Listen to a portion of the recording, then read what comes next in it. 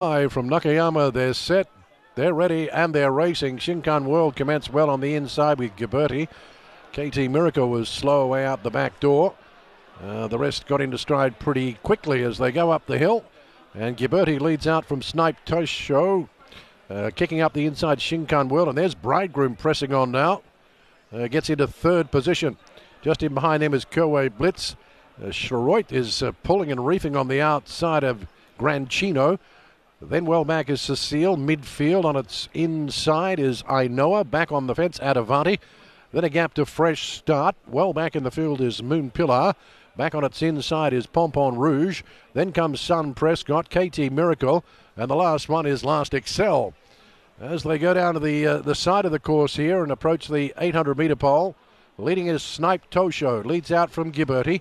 Up there now, Charoite finally settled. The favourite runs fourth in Bridegroom.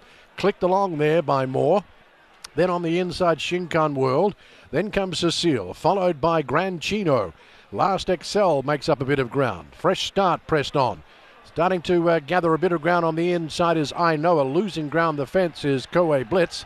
Well back Moon Pillar. It's almost uh, two divisions here with Sun Prescott under pressure well back in the field with Pompon Rouge and KT Miracle the last one. Well, they've got to catch Ghiberti. Now the favourite looms up. Moore puts the go button, but Ghiberti's got a bit of a kick here at the 200 metre park.